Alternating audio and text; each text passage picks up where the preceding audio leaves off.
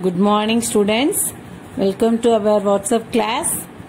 First of all, I congratulation you promote new class. I am Visalakshi. We start then recall continent.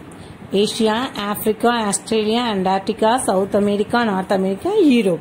Okay. Next, how does the European came to know about the immense wealth of India?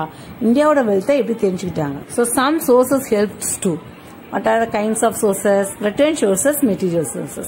Written to- uh, sources, literatures, travel account, diaries, autobiography, government documents. So these are the written sources. Okay, ma.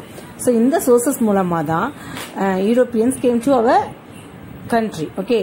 Next, next who are? Okay. Any guess? Yeah, Britishers. Very good. So next. Danish. Danish come, came to our country. Next to who? Any guess? Yeah, very good. Dutch. Next. Portuguese. Yeah, very good. Portuguese. Next. French. Yeah. So இவங்க- இவங்கெல்லாம் தான் நம்ம நாட்டுக்கு வந்தாங்க This year we learn advent of Europeans new lesson from history.